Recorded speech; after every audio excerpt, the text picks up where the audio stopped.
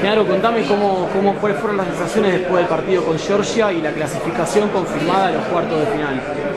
La verdad muy, eh, muy contento, un momento de, relajación, por decirlo de alguna forma, ya que se cumplió un primer objetivo y bueno, tuvo que durar poco porque ahora ya tenemos que estar a full metidos para el partido del domingo que está bastante duro.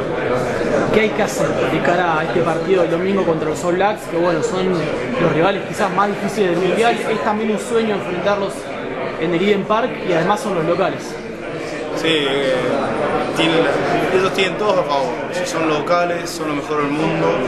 Eh, todos confían de que, va a ser fácil ganarnos, pero nosotros sabemos que primero siempre cuando los rivales son duros es cuando jugamos mejor y sabemos que todo, todo depende de nosotros, que estemos concentrados, que, que no los dejemos hacer su juego y que si hacemos todo perfecto a lo que nos plantean los entrenadores, tenemos posibilidades. ¿Se sienten mejor los Pumas sin ser los favoritos en un partido? Sí, siempre que, que hemos tenido que jugar bajo presión,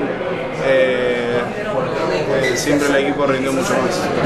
El partido con Georgia tardó bastante en abrirse en favor de los Pumas, después lo dio vuelta a Georgia y después en su segundo tiempo sí pudieron llevárselos. ¿Crees que pasó un poco por eso también? ¿Porque eran los favoritos?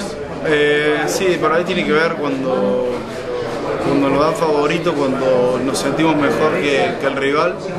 Tenemos esos momentos de relajación que, que bueno, que termina, termina jugándonos en contra.